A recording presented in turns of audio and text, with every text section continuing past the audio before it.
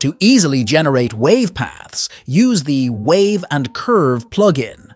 Wave and Curve. When launched, a pop-up appears that allows you to adjust variables while previewing the waveform. This is very convenient because the preview allows you to see which variables will change and how they will change as you adjust them. From the icons in the upper right corner, select the type of waveform you want to adjust. Below the preview screen are three values. Height, amplitude in px, from left to right height difference, randomness of amplitude, distance, wavelength in px. The bias below that is the angle. You can also generate a random waveform. Wave lines are output as paths, which can be modified to your liking. Get Waves.